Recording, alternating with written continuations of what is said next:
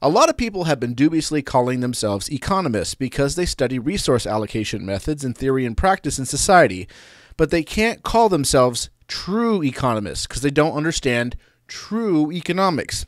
Unless you're talking about household management, it's not economics because traditionally that's how the word was used. It wasn't until around the 19th century that some capitalist scumbag co opted the term to mean economic system of a country or an area. It's bourgeoisie at its core. Academic economists are a fringe group, while real economists are the majority. There are more apartment economists, house economists, and even condo economists than there will ever be academic economists. I mean, just look, Google the term academic economist protest, and you won't find any pictures except for one example from 1967. Yet, how many people do you know who plan their own apartment?